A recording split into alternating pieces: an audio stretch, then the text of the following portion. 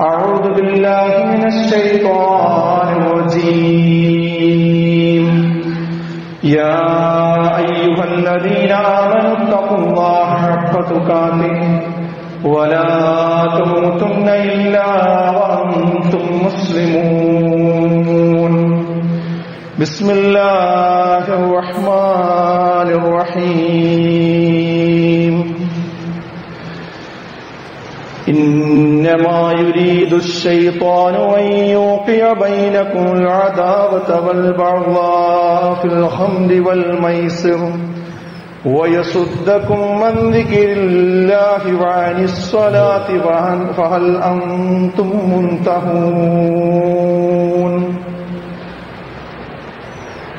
ബഹുമാനരായ സത്യവിശ്വാസികളെ വിശ്വാസികൾ അള്ളാഹുവിനെ സൂക്ഷിച്ചുകൊണ്ട് അവന്റെ വിധിവിലക്കുകൾ ജീവിതത്തിന്റെ എല്ലാ മേഖലകളിലും എല്ലാ സന്ദർഭത്തിലും പാലിച്ചുകൊണ്ട് ജീവിക്കണമെന്ന് ഏവരെയും ഓർമ്മപ്പെടുത്തുകയാണ് വസീയത്ത് ചെയ്യുകയാണ്. നാം ഒരാളെക്കുറിച്ച് എന്തെങ്കിലും കാര്യങ്ങൾ അന്വേഷിക്കുമ്പോൾ അയാളൊരു കുടിയനായ ആളാണ് എന്ന് ഒരു പ്രതികരണം ലഭിച്ചാൽ എന്തായിരിക്കും അദ്ദേഹത്തെക്കുറിച്ച് നമ്മുടെയൊക്കെ മനോഭാവം? വളരെ മോശമായൊരു ചിത്രമാണ് ആ വ്യക്തിയെക്കുറിച്ച് നമുക്ക് ലഭിക്കുക എന്നാൽ അതേ ആളെക്കുറിച്ച് അയാൾ ഇടക്കിടക്ക് മദ്യപിക്കുന്ന ആളാണ്. സ്ഥിരമായിട്ടില്ല. അങ്ങനെ ആളുകളൊന്നും അറിയുന്ന രീതിയിൽ മദ്യപിക്കുകയില്ല. എന്ന് പറഞ്ഞാൽ കുറച്ചുകൂടി അതിന്റെ ഗൗരവം നമ്മുടെ മനസ്സിൽ കുറഞ്ഞു എന്നാൽ ഇങ്ങനെയാണ് പറയുന്നതെങ്കിലോ അയാൾ അങ്ങനെ മദ്യപിക്കാറൊന്നുമില്ല. കുറെയൊക്കെ മറ്റു ചില ലഹരി സാധനങ്ങളൊക്കെ ഉപയോഗിക്കാറുണ്ട്. ഹാൻസും പാൻപരാഗും അതുപോലെ സമാനമായ വസ്തുക്കൾ അദ്ദേഹം ഉപയോഗിക്കാറുണ്ട്. എന്നാണ് പറയുന്നതെങ്കിൽ പലരും അതിനെക്കുറിച്ച് വീക്ഷിക്കാറുള്ളത് ഒരു സാധാരണ സംഭവമായിട്ടാണ്. അതത്ര വലിയൊരു ഗുരുതരമായ വിഷയമല്ല. അതത്ര വലിയൊരു തെറ്റല്ല എന്ന നിലക്കാണ് പൊതുവെ നമ്മുടെ മനസ്സിൽ ഉണ്ടാകുന്ന ഒരു ചിത്രം. യഥാർത്ഥത്തിൽ ഇസ്ലാമിക കാഴ്ചപ്പാടിൽ നമ്മൾ പരിശോധിച്ചാൽ ഇതെല്ലാം തന്നെ ലഹരിയാണ് എന്ന കാര്യത്തിൽ യാതൊരു തർക്കവുമില്ല. റസൂലുള്ളാഹി സ്വല്ലല്ലാഹു അലൈഹി വസല്ലമ പറഞ്ഞു കുല്ലു മുസ്കിരിൻ ഹമ്രുൻ ലഹരി ഉണ്ടാക്കുന്നതെല്ലാം മദ്യമാണ് ഹമ്രാണ് വക്കുല്ലു മുസ്കിരിൻ ഹറാം. എല്ലാ ലഹരി സാധനങ്ങളും നിഷിദ്ധമാകും നിഷിദ്ധവുമാകുന്നു. ഇത് സ്വല്ലല്ലാഹു അലൈഹി വസല്ലമ പറഞ്ഞതാണ്. അങ്ങനെ പറയുമ്പോൾ നമ്മുടെ മനസ്സിലുള്ള ഒരു ന്യായം. മദ്യപിക്കുക എന്ന് പറഞ്ഞാൽ കുടിച്ച് ലക്ക് കെട്ട് ബോധം പോകുന്ന ഒരവസ്ഥയൊക്കെയല്ലേ ഇതുപയോഗിക്കുന്ന ആളുകൾക്ക് അങ്ങനെയൊന്നുമില്ല. ഒരു ചെറിയൊരു ലഹരിയൊക്കെ ഉള്ളൂ കുറച്ചല്ലേ ഉള്ളൂ എന്ന്. ഇതിനെക്കുറിച്ചും റസൂലുള്ള പറഞ്ഞത് കുറച്ച് ലഹരി ഉപയോഗിക്കുന്നതിനെ സംബന്ധിച്ചും നാം തിരിച്ചറിയേണ്ടതുണ്ട്. റസൂലുള്ള പറഞ്ഞു മാ അസ്കറ ഹറാം. കൂടുതൽ ഉപയോഗിച്ചാൽ മത്താകുന്ന ലഹരി ബാധിക്കുന്ന ഏതൊക്കെ വസ്തുണ്ടോ അത് കുറച്ച് ഉപയോഗിച്ചാലും ഹറാമ് തന്നെയാണ് എന്ന്. കൂടുതൽ അളവിൽ ഉപയോഗിച്ചാൽ മത്തുണ്ടാകുന്ന ലഹരി ഉണ്ടാകുന്ന വസ്തു ഹറാം. അത് വളരെ കുറച്ച് ഉപയോഗിച്ചാലും നിഷിദ്ധമാകുന്നു എന്ന് നബി തിരുമേനി പറഞ്ഞതായി നമുക്ക് കാണാൻ സാധിക്കും. അപ്പോഴും നമ്മുടെ മനസ്സിൽ വരാനുള്ള ഒരു കാര്യം എന്നാലും അത് മദ്യമല്ലല്ലോ. അത് പലരും ഉപയോഗിക്കാറുണ്ടല്ലോ. അതിന്റെ പേര് മറ്റൊന്നല്ലേ? അതിന്റെ രൂപം വേറെയല്ലേ? അതൊരു പൊടിയുടെ രൂപമല്ലേ? അതല്ലെങ്കിൽ വേറെ ഒരു ദ്രാവകമല്ലേ? അങ്ങനെ അങ്ങ് പറഞ്ഞു കൊണ്ടുപോയി അതൊക്കെ മരുന്നുകളിൽ ഉപയോഗിക്കുന്നില്ലേ? ഇങ്ങനെ കുറെ ന്യായീകരണങ്ങളാണ് മനസ്സിൽ വരാറുള്ളത്. ഇവിടെയും പ്രവാചകൻ സല്ലാഹു അലൈ വസല്ലമയുടെ ഒരു താക്കീത് നാം കൃത്യമായി ഓർക്കേണ്ടതുണ്ട്. മിൻ ഉമ്മത്തി. റസൂലുള്ള പറയാണ് എന്റെ ഉമ്മത്ത് ലയസറബന്ന യസുറബൻ മിൻ ഉമ്മത്തി. എന്റെ ഉമ്മത്തിൽ നിന്ന് കുടിക്കുന്ന ആളുകൾ ഉണ്ടാവും അൽ ഹംറ മദ്യം. മദ്യം രുചിക്കുന്ന ആളുകൾ ഉണ്ടാവും പക്ഷേ യുസമ്മൂനഹ ഇസ്മിഹ. അതിനവർ മദ്യം എന്ന് പേര് വിളിക്കുകയില്ല. അതിനവർ പേര് മാറ്റി വിളിക്കും. മറ്റു പേരുകളിൽ ആ ലഹരി സാധനങ്ങൾ ഉപയോഗിക്കുന്ന ആളുകൾ എന്റെ ഉമ്മത്തിൽ നിന്ന് വരാനുണ്ട്. എന്ന് നബി ജമീർ സല്ലല്ലാഹു അലൈഹി വസല്ലം പറഞ്ഞിട്ടുണ്ട്. ആ ഗണത്തിൽ ഇങ്ങനെ ന്യായീകരിക്കുന്നവർ പെടുമോ എന്ന് ആലോചിക്കേണ്ടതുണ്ട്. അതുപോലെ തന്നെ മറ്റു ചിലർ പറഞ്ഞ് വിശദീകരിച്ചെത്തിക്കാറുള്ളത് അതത്ര വലിയ കുറ്റമൊന്നുമല്ല എന്ന് പറഞ്ഞ് നേരത്തെ ഞാൻ സൂചിപ്പിച്ചതുപോലെ പല രീതിയിലുള്ള ന്യായീകരണങ്ങൾ കൊണ്ടുവന്ന് താൻ ചെയ്യുന്ന ആ കാര്യം നിലനിർത്തി പോകുവാൻ ശ്രദ്ധിക്കാറുണ്ട്. ഇവിടെയും പ്രവാചകൻ സല്ലാഹു അലൈഹി വസ്ലമയുടെ ഒരു പ്രവചനം നാം പ്രത്യേകം പരിഗണിക്കേണ്ടതുണ്ട്.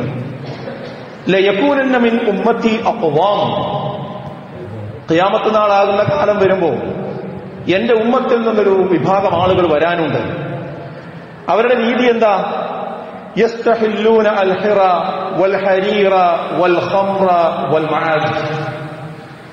അവർ നാല് കാര്യങ്ങളെ ഹലാലാണ് എന്ന് വാദിക്കുന്ന ആളുകളായിരിക്കും അനുവദനീയമാക്കുന്ന ആളുകളായിരിക്കും ആണുങ്ങൾക്ക് പട്ടുവസ്ത്രവും അതുപോലെ തന്നെ അതിൽപ്പെട്ട പ്രധാനപ്പെട്ട ഒരു കാര്യമായി പറഞ്ഞത് വൽ ഹംറ് എന്നാണ്. മദ്യത്തെ ലഹരിയെ അതൊന്നും ഒരു പ്രശ്നമല്ല എന്ന് പറഞ്ഞ് അതിന്റെ ഹലാലായി വാദിക്കുന്ന ഒരവസ്ഥ വരും. വൽ മആദി അതുപോലെ തന്നെ സംഗീത ഉപകരണങ്ങളെയും അതും പ്രശ്നമില്ല എന്ന് വാദിച്ചു വരുന്ന രീതിയിൽ എന്റെ ഉമ്മത്തിൽ നിന്ന് തന്നെ ആളുകൾ വരും എന്ന് പ്രവാചകൻ സല്ലാഹു അലൈ വസ്ലമ പറഞ്ഞത് നമുക്ക് കാണാൻ സാധിക്കും.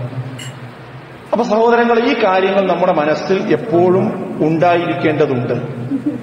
മാത്രവുമല്ല ഇത് ഉപയോഗിക്കുന്ന സദസ്സുകളെ പോലും ഇസ്ലാം വളരെ ഗൗരവത്തോടു കൂടിയാണ് കാണുന്നത് എന്ന് നമുക്ക് കാണാൻ സാധിക്കും. മൻകാന അള്ളാഹുവിലും അന്ത്യദിനത്തിലും വിശ്വസിക്കുന്നവർ ഫലായജലിസ് അവർ ഇരിക്കരുത്. അല മാഇദത്തിൻ സുപ്രകളിൽ ഭക്ഷണത്തളികകളിൽ യുദാറു അലൈഹൽ ഹം മദ്യം വിളമ്പപ്പെടുന്ന അതിന്റെ സാന്നിധ്യമുള്ള ഭക്ഷണ മേശകളിൽ അവർ ഉണ്ടാകാൻ പാടില്ല.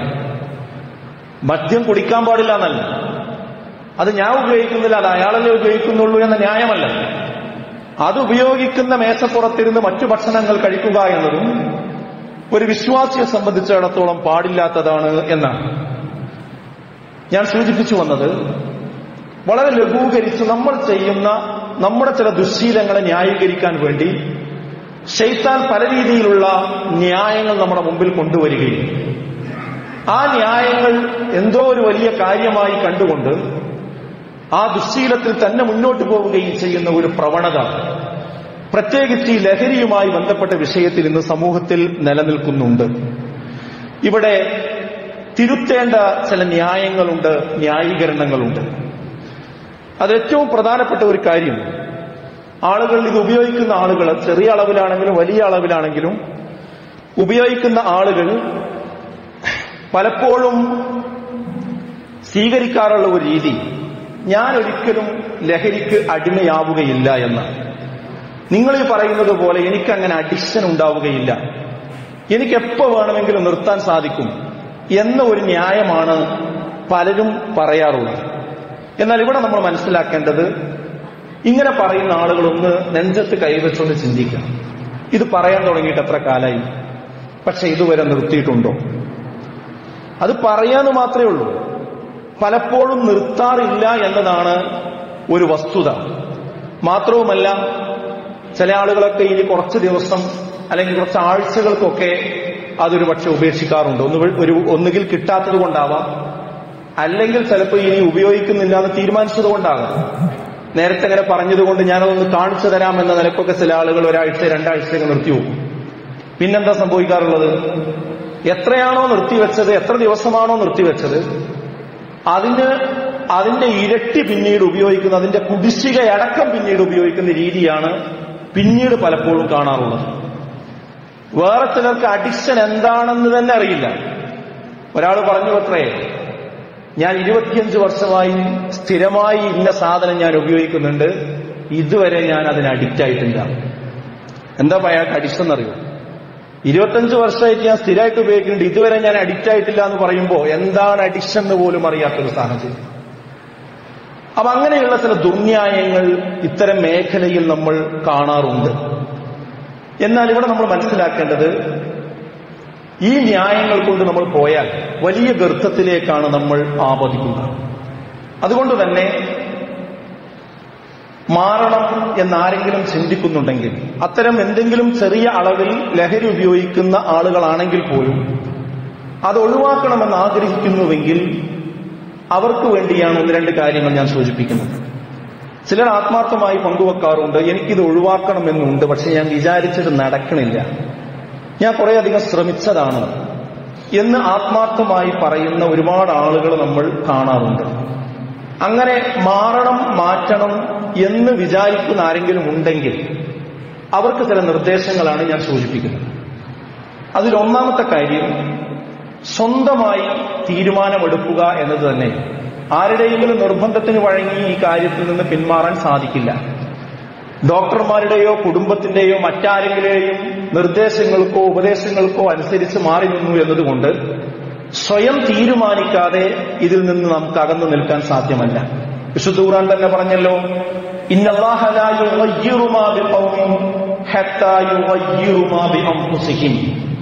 ഒരു ജനത സ്വയം മാറാൻ തീരുമാനിക്കാതെ അള്ളാഹു അവരെ മാറ്റുകയില്ല എന്ന്.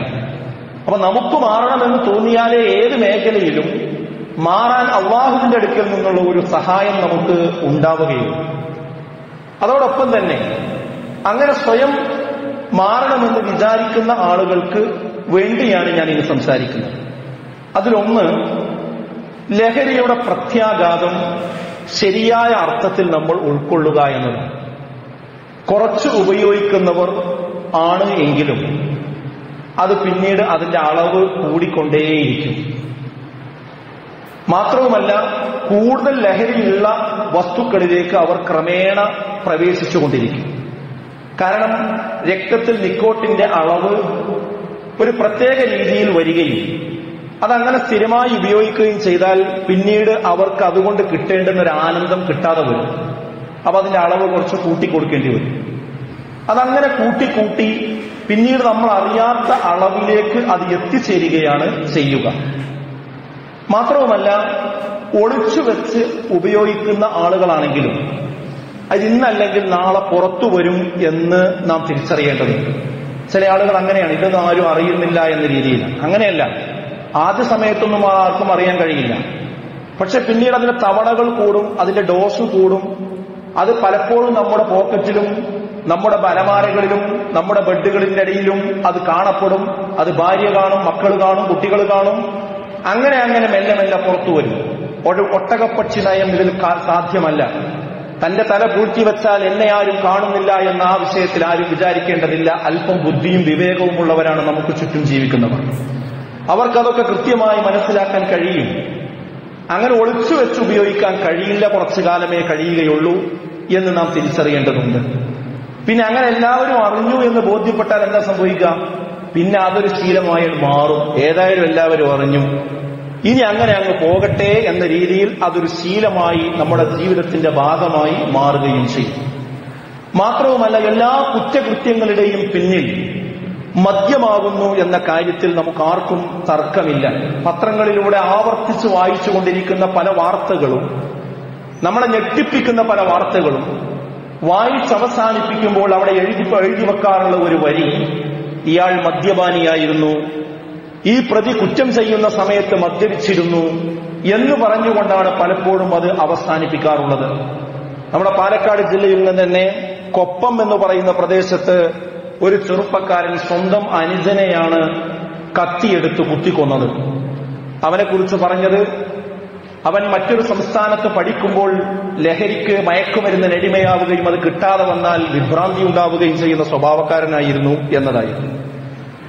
അതുപോലെ തന്നെ വീട്ടിൽ ചില മക്കളെ കൊണ്ട് അസഹ്യമായി പ്രയാസപ്പെട്ട് ചില അമ്മമാർ ആ മക്കളെ കൊല ചെയ്ത എത്ര സംഭവങ്ങൾ നമ്മൾ മദ്യത്തിന്റെ പേരിൽ കണ്ടിട്ടുണ്ട്.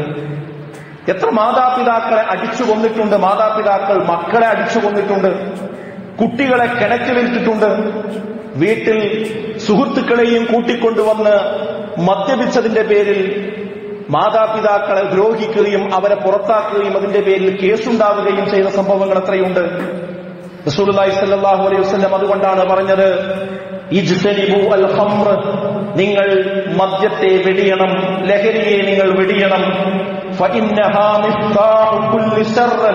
എല്ലാ ഷർറിന്റെയും ഒരു കവാടമാകുന്നു അത്.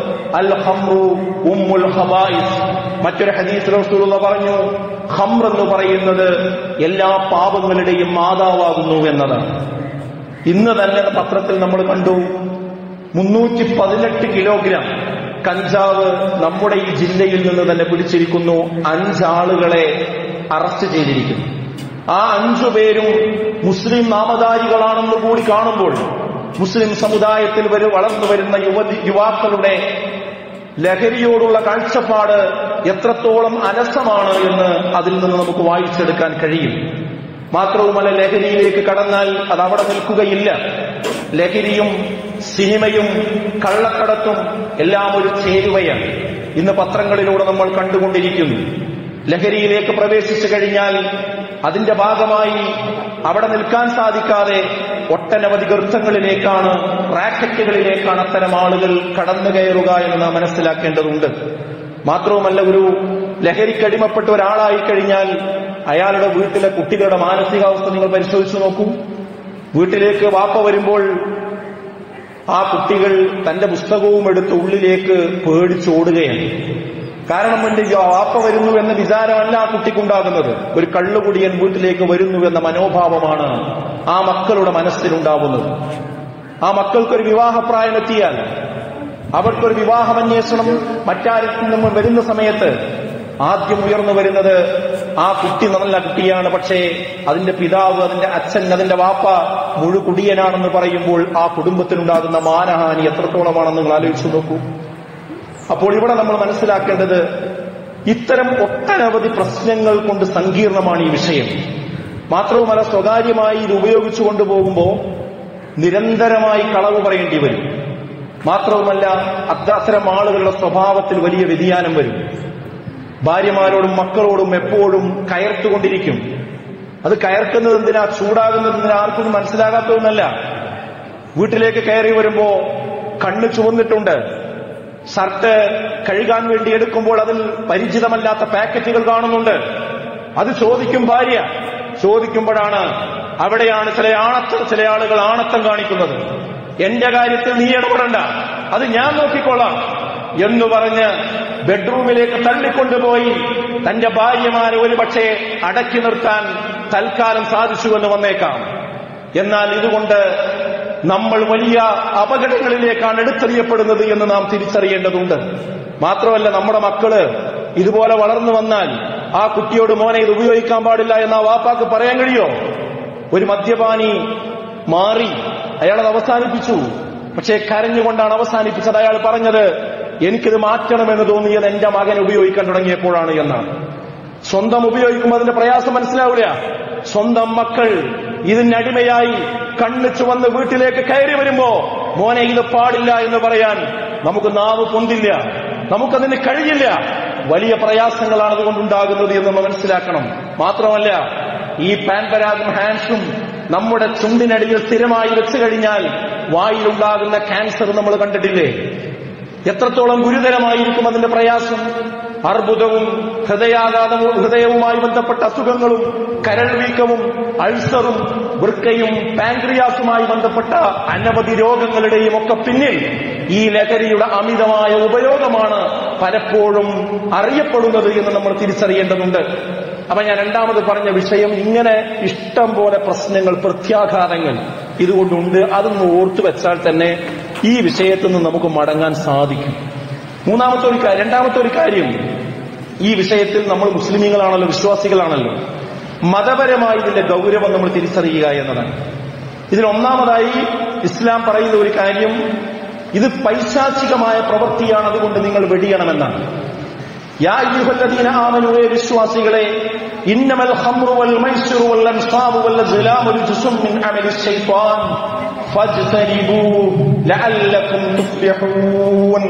ഏ വിശ്വാസികളെ മദ്യവും ചൂതാട്ടവും പ്രതിഷ്ഠകളും പ്രശ്നം വെച്ച് നോക്കലും എല്ലാം തന്നെ പിശാച്ചിന്റെ മ്ലേച്ഛമായ പ്രവൃത്തികളിൽ പെട്ടതാണ് അതുകൊണ്ട് നിങ്ങൾ അതിനെ വെടിയണം. എന്നാൽ നിങ്ങൾ വിജയികളായേക്കാം എന്നാണ് അപ്പൊ ഇസ്ലാം വളരെ ഗൗരവത്തോടുകൂടി പറയുന്നു ഇത് പൈശാചികതയാണ് എന്ന്. പിന്നെയോ ഇതുമൂലം ശത്രുത വളരും വിദ്വേഷം വളരും. അള്ളാഹുവിൽ നിന്നുള്ള സ്മരണയിൽ നിന്ന് നമ്മൾ പിറകോട്ട് പോകും. നമസ്കാരത്തിൽ നിന്ന് വരെ നമ്മളെ തടയും. നിശ്ചയമായും പിശാച്ച് ഉദ്ദേശിക്കുന്നത്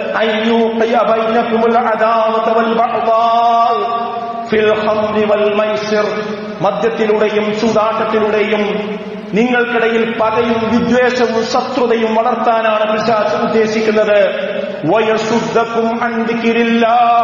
അള്ളാഹുവിന്റെ സ്മരണയെ തൊട്ട് നിങ്ങളെ തടയുകയും ചെയ്യുന്നു. നമസ്കാരത്തിൽ നിന്ന് നിങ്ങളെ തടയുന്നു. നിങ്ങൾക്ക് വിരമിക്കാനായില്ലേ എന്നാണ് വിശുദ്ധ ഖുർആാനിന്റെ ചോദ്യം. അപ്പൊ വളരെ ഗൗരവമായ ഒരു വിഷയമാണ്. ശത്രുതയും പകയും വിദ്വേഷവും സ്വന്തം കുടുംബങ്ങൾക്കും നാട്ടുകാർക്കും ഇടയിലൊക്കെ വിതക്കുന്ന ഒരു വലിയ തെറ്റാണിത് എന്ന് നാം തിരിച്ചറിയണം. അതോടൊപ്പം റസൂലുള്ള പറഞ്ഞു മൻസരിബൽ ആരെങ്കിലും മദ്യപാനിയായാൽ മദ്യം കുടിച്ചാൽ ലം തുഖ്ബൽ ദിവസത്തെ നമസ്കാരം അതിന്റെ പേരിൽ അവനിൽ നിന്ന് സ്വീകരിക്കപ്പെടുകയില്ല എന്നാണ്. മാത്രവുമല്ല മുഴുമദ്യപാനിയായിക്കൊണ്ടാണ് ഒരാൾ മരിച്ചു പോകുന്നത് എങ്കിൽ അയാൾക്ക് സ്വർഗമില്ല എന്ന് റസൂലുള്ളാഹി സ്വല്ലല്ലാഹു അലൈഹി വസല്ലം പറഞ്ഞു. ലാ യദ്ഖുലുൽ ജന്നത മുദ്മിനുൽ ഖംർ. മുഴുമദ്യപാനിയായ ആൾ ഒരിക്കലും സ്വർഗത്തിൽ പ്രവേശിക്കുകയില്ല. പിന്നെ അവരെവിടെയാണ് നരകത്തിലായിരിക്കും? അവിടെ എന്താണ് അവർക്ക് ലഭിക്കുക? തുയിനത്തുൽ ഹബാൽ എന്ന ഒരു പ്രത്യേക ദ്രാവകമാണത്രേ മുഴുമദ്യപാനികളായ ആളുകൾക്ക് നാളെ നരകത്തിൽ കുടിക്കാൻ കൊടുക്കുന്നത്. വമാ തുയിനത്തുൽ ഹബാൽ എന്താണ് തുയിനത്തുൽ ഹബാൽ എന്ന് പറഞ്ഞാൽ? കാലാവിടുന്ന് പറഞ്ഞു നരകാഗ്നിയിൽ കിടന്ന് ബന്ധിരിക്കുന്ന ആളുകളുടെ വിയർപ്പും. നരകത്തിൽ കടയിൽ കടന്ന് വെന്തെരിയുന്ന ആളുകളുടെ ചെലവും ചോരയും വിയർപ്പുമൊക്കെയാണ് അതടങ്ങിയ ദ്രാവകത്തിനാണ് തീനത്തുൽ ഹബാൽ എന്ന് പറയുന്നത്. അതാണ് മുഴുമദ്യപാനികളായ ആളുകൾക്ക് കുടിക്കാൻ കൊടുക്കുക എന്ന് റസൂലുള്ളാഹി സ്വല്ലല്ലാഹു അലൈഹി വസല്ലം പറഞ്ഞു. അപ്പൊ സഹോദരങ്ങളെ ദീൻ മതപരമായി യാതൊരു അടിത്തറയുമില്ല. അങ്ങേയറ്റം നമുക്ക് വിലക്കിയതാണ്. ദുനിയാവിൽ ഒരുപാട് പ്രശ്നങ്ങൾ ഉണ്ടാക്കുന്നതാണ്. നാളെ ആഹ്റത്തിൽ ഇതിലും വലിയ ബുദ്ധിമുട്ടുണ്ടാക്കുന്നതാണ്. സുഹൃത്തുക്കളെ ഇത് തൽക്കാലം ഇവിടെ ഒന്ന് നമ്മൾ ഒഴിവാക്കിയാൽ ഒരു സൈഡ് എഫക്റ്റും ഇല്ലാത്ത മദ്യം സ്വർഗത്തിൽ നമുക്ക് കുടിക്കാൻ തരുന്ന ഇത് കിട്ടാതെ പോകുന്നില്ല. ഇതിന്റെ ചെറിയൊരു രസം ഇവിടുന്ന് അറിഞ്ഞിട്ടാണല്ലോ ഇതിന്റെ പിന്നാലെ പോണത്. പക്ഷെ ഇവിടുത്തെ മദ്യം ഉപയോഗിച്ചാൽ ഈ പറഞ്ഞ എല്ലാ പ്രശ്നങ്ങളും ഉണ്ട്. ഇതൊക്കെ തൽക്കാലം ഒഴിവാക്കി ഈ ദുനിയാവ് നമ്മൾ മാറ്റി നിർത്തിയാൽ ഇതെല്ലാം ഒരു സൈഡ് എഫക്റ്റും ഇല്ലാത്ത സുഖകരമായ ഒരു ജീവിതം അവിടെ മദ്യത്തിന്റെ പുഴകളുണ്ട്.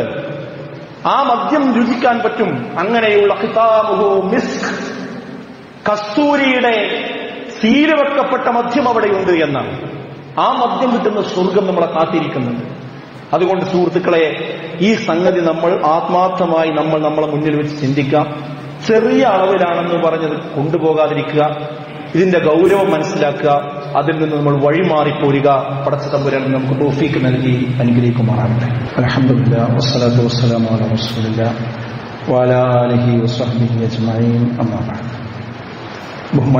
സത്യവിശ്വാസികളെ വിശ്വാസികൾ അള്ളാഹുവിനെ സൂക്ഷിച്ചുകൊണ്ട് അവന്റെ വിധിവിലക്കുകൾ ജീവിതത്തിൽ പാലിച്ച് ജീവിക്കണമെന്ന് ഒരിക്കൽ കൂടി ഓർമ്മപ്പെടുത്തുകയാണ് വസീത് ചെയ്യുകയാണ്. രണ്ട് കാര്യങ്ങളാണ് ഞാൻ സൂചിപ്പിച്ചത്. മൂന്നാമത്തെ വിഷയം ഇത് ഒഴിവാക്കാൻ തീരുമാനിക്കുന്ന ആളുകൾ ഇത് ലഭിക്കാൻ സാധ്യതയുള്ള സാഹചര്യങ്ങളിൽ നിന്ന് വിട്ടുനിൽക്കുക എന്നതാണ്. സാധാരണ ഇത് ഉപയോഗിക്കുന്ന ആളുകൾക്ക് ഒരു കൂട്ടുകെട്ടുണ്ടാവും ഒരു കമ്പനി ഉണ്ടാവും. അവർ ജീവിക്കുന്ന ഒരു പരിസരം ഉണ്ടായിരിക്കും. അവർ പോവുകയും വരികയും ചെയ്യുന്ന സ്ഥലങ്ങൾ ഉണ്ടായിരിക്കും. അവിടങ്ങളിൽ ഇത് വീണ്ടും കിട്ടുന്ന സ്ഥലങ്ങളാണ് എങ്കിൽ നമ്മൾ എത്ര തീരുമാനിച്ചാലും ഒരാഴ്ചയോ രണ്ടാഴ്ചയോ കഴിഞ്ഞാൽ വീണ്ടും അതിലേക്ക് തന്നെ തിരിച്ചു പോകുന്ന ഒരവസ്ഥ ഉണ്ടാകും. അതുകൊണ്ടാണ് റസൂലുള്ള പറഞ്ഞു നാല് കാര്യങ്ങൾ ഞാൻ നിങ്ങളെ കൽപ്പിക്കുന്നു നാല് കാര്യങ്ങൾ ഞാൻ നിങ്ങളെ വിലക്കുകയും ചെയ്യുന്നു അതിൽ വിലക്കിയ നാല് കാര്യങ്ങൾ എന്താണെന്നറിയോ? അനി ദുബാ ഒന്ന് ദുബാ അതായത് ഉണങ്ങിയ ചെരങ്ങയുടെ ഓടിനാണ് ദുബാവ് എന്ന് പറയാം. അതുപോലെ തന്നെ വൽ ഹൻസം ഒരു പര പ്രത്യേകതരം പരണി. വൽ മുസഫത്ത് താറ് പുരട്ടിയ പോലുള്ള ഒരു പാത്രം. വൻ നഖീർ അതോടൊപ്പം തന്നെ ഈത്ത ഈത്തപ്പഴ മരം മരം കൊണ്ടൊക്കെ വെട്ടിയുണ്ടാക്കിയ കുഴിയുണ്ടാക്കിയ ചെറിയ പാത്രങ്ങൾ. ഇതിന്റെ കാരണം എന്താണെന്ന് വെച്ചാൽ ജാഹിരിയ കാലഘട്ടങ്ങളിൽ ഈ പറഞ്ഞ വസ്തുക്കളിലായിരുന്നു മുന്തിരി ഇട്ട് വെക്കും പഴങ്ങൾ ഇട്ട് വെക്കും. അങ്ങനെ കുറെ ദിവസം ഇട്ട് വെച്ച് കഴിഞ്ഞാൽ അത് മദ്യമായി മാറും കള്ളായി മാറും. അങ്ങനെ അവർ അതിനുവേണ്ടി ഉപയോഗിച്ചിരുന്ന ചില പാത്രങ്ങളായിരുന്നു അതൊക്കെ അപ്പൊ റസൂള്ള പറയണത് നിങ്ങൾക്ക് വിരോധിച്ചു. കാരണം എന്താ അറിയുക ആ പഴയ ഒഴിവാക്കിയ ആ മദ്യം അത് ഉപയോഗിച്ചിരുന്ന ആ പാത്രങ്ങൾ വീണ്ടും ഉപയോഗിച്ച് ശീലിച്ചാൽ വീണ്ടും ആ പഴയ അവസ്ഥയിലേക്ക് കടന്നു പോകാൻ സാധ്യതയുണ്ട് എന്നാണ്. അതായത് ആ ഓർമ്മ തന്നെ നശിപ്പിക്കണം എന്നതാണ് അപ്പൊ നമ്മളൊന്ന് മാറാൻ തീരുമാനിക്കുന്നുണ്ടെങ്കിൽ ഇത് ലഭിക്കുന്ന സാഹചര്യങ്ങളിൽ നിന്ന് നമ്മൾ വിട്ടു നിൽക്കുക എന്നുള്ളത് പ്രധാനപ്പെട്ട ഒരു കാര്യം. നാലാമത്തെ ഒരു കാര്യം നമുക്ക് ഒഴിവ് സമയം ഉണ്ടാകരുത്. ഒഴിവ് സമയം ഉണ്ടാകുമ്പോഴാണ് ഇത്തരം അനാവശ്യ കാര്യങ്ങളിലേക്ക് നമ്മൾ പോവുക. രണ്ട് കാര്യങ്ങൾ വഞ്ചിതരാണെന്ന് പറഞ്ഞതിൽ ഒന്ന് അസ്ഹത്തു വൽ ഫറാ ഒന്ന് ആരോഗ്യമാണ് മറ്റൊന്ന് ഒഴിവ് സമയമാണ്. ഒഴിവ് സമയം ഉണ്ടായിക്കഴിഞ്ഞാൽ ഇതുപോലെയുള്ള അനാവശ്യങ്ങളിലേക്ക് പോകാൻ കൂടുതൽ സാധ്യതയുണ്ട്. അതുകൊണ്ട് നമ്മൾ എന്ത് എൻഗേജ്ഡ് ആണ്? നമ്മുടെ സമയം രാവിലെ മുതൽ വൈകുന്നേരം വരെ എന്തെങ്കിലും ഒരു വിഷയത്തിൽ നമ്മൾ എൻഗേജ് ചെയ്യണം. അത് ഏറ്റവും പ്രധാനം ഒന്ന് നമ്മുടെ മഴീസത്തിന്റെ ഭാഗം തന്നെയാണ് ഒരു ജോലി ഉണ്ടാകുക എന്നുള്ളതാണ് ഒന്നാമത്തെ കാര്യം. ഇന്ന് നമ്മുടെ കേരളത്തിന്റെ ഒരു ചുറ്റുപാട് എടുത്ത് പരിശോധിച്ചാൽ നമ്മൾ സാധാരണ ചെയ്തുകൊണ്ടിരുന്ന തൊഴിലുകളൊക്കെ മറ്റു സംസ്ഥാനങ്ങളിൽ നിന്ന് ആളുകളെ ഇറക്കുമതി ചെയ്ത് അവരെ കൊണ്ട് ചെയ്യിപ്പിക്കുകയാണ്. അവർ പോയപ്പോൾ വലിയ ക്രൈസിസ് ആണ് നമ്മുടെ സംസ്ഥാനത്ത് അനുഭവിച്ചുകൊണ്ടിരിക്കുന്നത്. എന്നാൽ അതേ ജോലികൾ പണ്ട് നമ്മൾ ചെയ്തിരുന്ന ജോലികൾ ചെയ്യാനുള്ള ആളുകൾ എല്ലാം ഇവിടെ ഉണ്ട്. യുവാക്കളുടെ എണ്ണം ഇവിടെ കൂടുതലാണ്. പ്രത്യേകിച്ച് വിദേശ നാടുകളിൽ നിന്നൊക്കെ ഒരുപാട് ആളുകൾ തിരിച്ചു വന്നിട്ടുമുണ്ട്. മറ്റൊരാളുടെ ജോലി എടുത്തില്ല എങ്കിലും സ്വന്തം അങ്ങനെയുള്ള പണികൾ എങ്കിലും അവനവൻ എടുക്കാൻ തീരുമാനിച്ചാൽ അത്രയും സമയം നമുക്ക് അതിൽ എൻഗേജ്ഡ് ആകാൻ സാധിക്കും. മറ്റു കാര്യങ്ങളിലേക്ക് പോകാൻ കഴിയില്ല. അപ്പൊ കൃത്യമായ ഒരു ചിട്ട ഉണ്ടാകണമെങ്കിൽ രാവിലെ നേരം എടുത്തു കഴിഞ്ഞാൽ ഒരു ജോലി അവനവന് വളരെ അത്യാവശ്യമാണ്. ആ ജോലിയിൽ നമ്മൾ വ്യാപൃതരാകുന്നതോടുകൂടി ഒരുപാട് സമയം അതിൽ നമുക്ക് പോകും. പിന്നെയോ നമ്മുടെ ആനന്ദം. ആ ആനന്ദം ഇപ്പൊ ഇങ്ങനെയുള്ള പല കൂട്ടുകെട്ടുകളിലും കമ്പനികളിലും ഇതുപോലുള്ള ലഹരി സാധനങ്ങളിലും ഒക്കെ ആയിരിക്കാം. അത് നേരെ നമ്മൾ എന്ത് ചെയ്യണം? ഒരു വിശ്വാസി എന്ന നിലയ്ക്ക് ആരാധനകളിൽ ആത്മനിർവൃതി അടയുന്ന ഒരു അവസ്ഥയിലേക്ക് നമ്മൾ തിരിച്ചു വരണം. ആരാധനകളിൽ ആനന്ദം കാണുന്ന ഒരവസ്ഥയുണ്ടാകണം. അതിന് അഞ്ച് നേരത്തെ നമസ്കാരം കൃത്യമായി നമ്മൾ പള്ളിയിൽ വന്ന് നമസ്കരിക്കാൻ തീരുമാനിച്ചാൽ തന്നെ അതിന്റെ അപ്പുറവും ഇപ്പുറവുള്ള സുന്നത്തുകളും അതുപോലെ ദിക്കറുകളും ദുആകളും നമ്മൾ നിർവഹിച്ചാൽ ഒരു ധൈര്യം നമുക്ക് ലഭിക്കും. അനാവശ്യങ്ങളിലേക്ക് പോകാൻ നമുക്ക് കഴിയില്ല.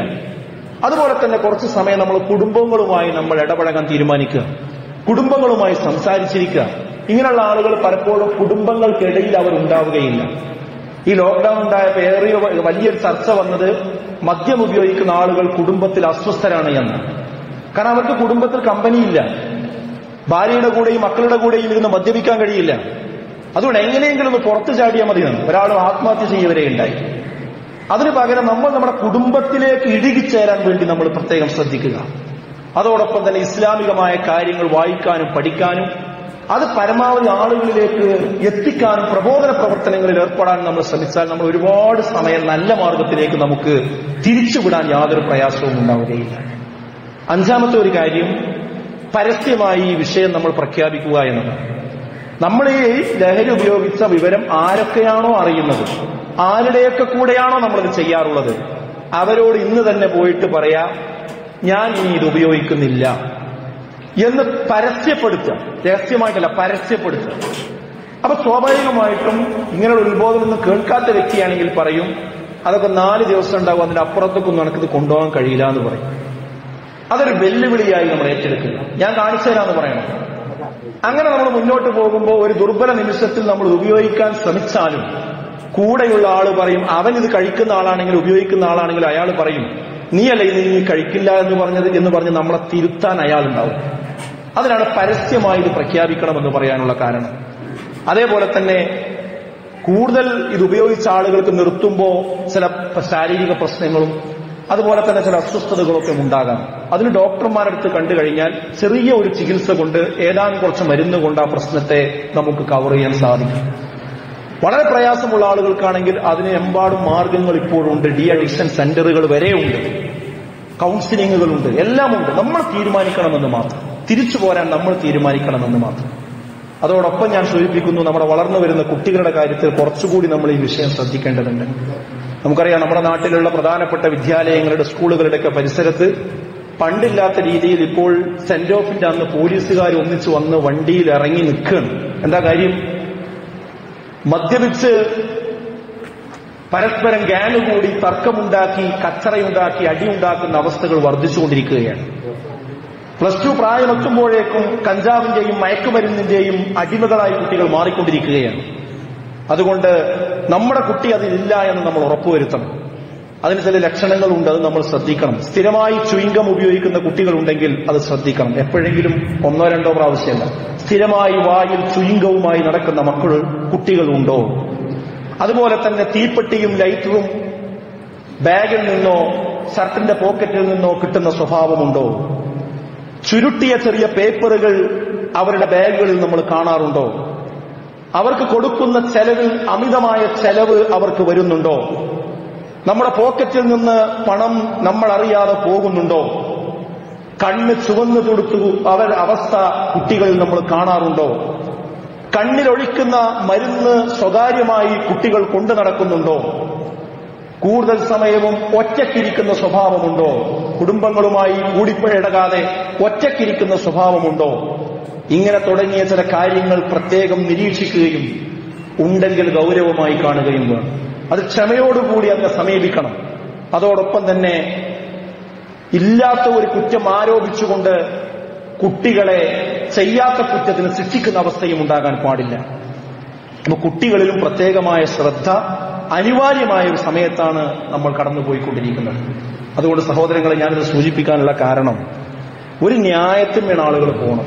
മദ്യം തെറ്റാണ് കള്ളുടിക്കാൻ പാടില്ല അതൊക്കെ ശരിയാണ്. പക്ഷെ ഇതൊന്നും ഒരു പ്രശ്നമല്ല എന്നുള്ള നിൽക്കാണ് ഇത് ഇതിമ നിൽക്കൂല സുഹൃത്തുക്കളെ. അത് വളരെ ഗൗരവപ്പെട്ട വിഷയമാണ്. അതുകൊണ്ട് ഒരു ആത്മവിചാരണ നമ്മൾ നടത്തണം മാറണം തിരുത്തണം. അതിന് അള്ളാഹു നമുക്ക് തോഫിക്ക് നൽകി അനുഗ്രഹിക്കുമാറാകട്ടെ.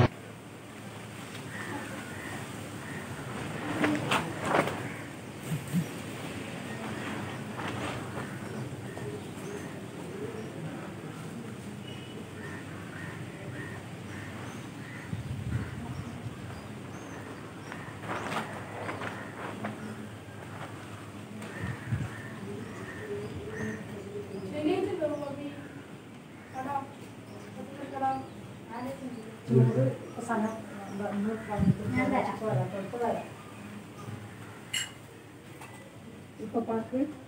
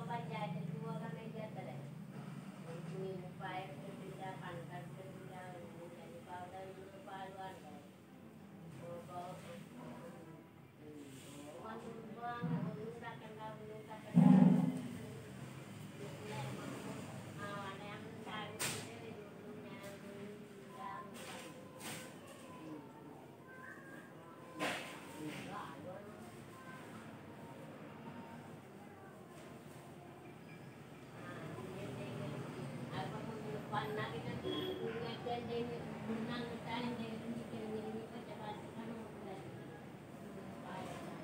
you.